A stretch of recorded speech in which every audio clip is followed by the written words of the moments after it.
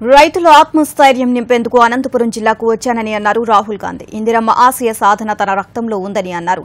ఏపీలో రైతు కుటుంబాలు ఆందోళన చెందుతున్నాయని వారి తరపున కాంగ్రెస్ పోరాడుతుందని భరోసా ఇచ్చారు.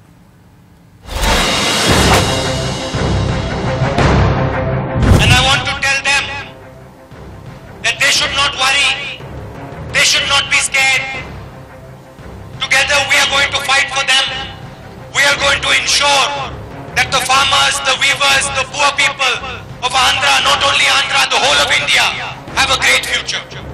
Indira Amma came here, she stood there on that stage. And I was a little boy who grew up in her house. The values and the ideas that she left behind are not only in my mind, they are in my blood and in my